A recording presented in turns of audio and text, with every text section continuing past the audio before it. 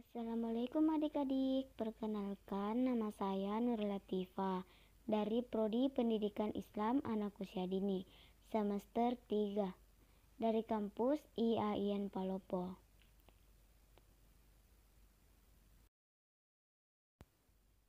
Kali ini kita akan belajar tentang binatang di udara. Baik adik-adik, sebelum belajar, terlebih dahulu kita membaca doa. Doa dimulai. Bismillahirrahmanirrahim.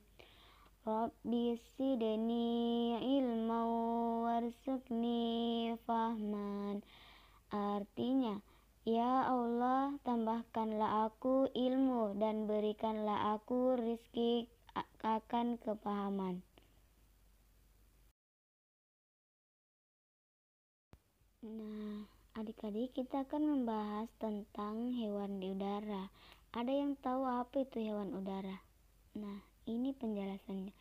Hewan udara adalah hewan yang dapat terbang atau bergerak di udara dengan caranya sendiri menggunakan adaptasi tubuh yang berbeda seperti sayap atau bulu. Selanjutnya kita masuk pada ciri-ciri hewan di udara. Yang pertama, menggunakan sayap. Yang kedua, memiliki pundi-pundi di udara. Ketiga, menggunakan kaki untuk mendorong dia ke udara. Baik, adik-adik, kita harus mengenal beberapa hewan di udara. Yang pertama, kupu-kupu. Nah, ini gambar kupu-kupu. Hewan ini diciptakan oleh Tuhan dengan sayap yang cantik.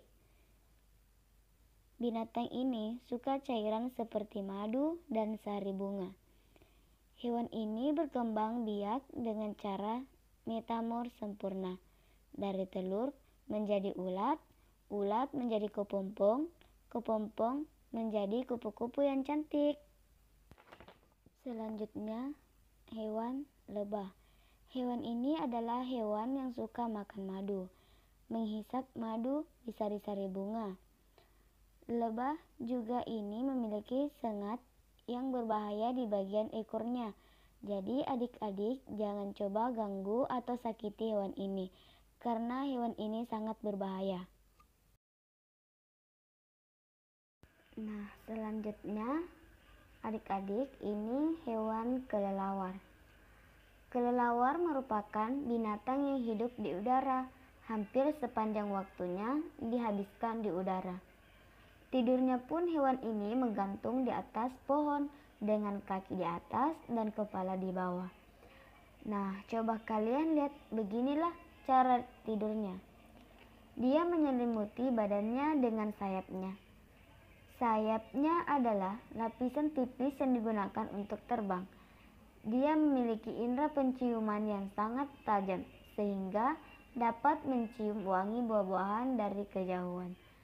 Dia pemakan buah dan dia sangat suka tinggal di tempat gelap dan lembab. Nah, itulah kelelawar. Setelah kita belajar tentang hewan di udara, selanjutnya kita bernyanyi dulu ya adik-adik. Satu, dua, tiga.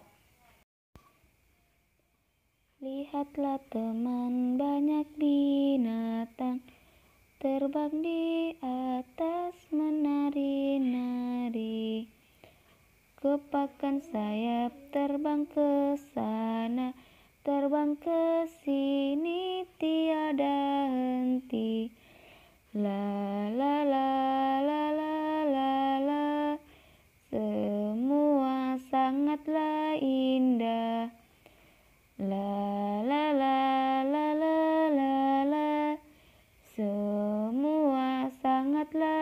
indah.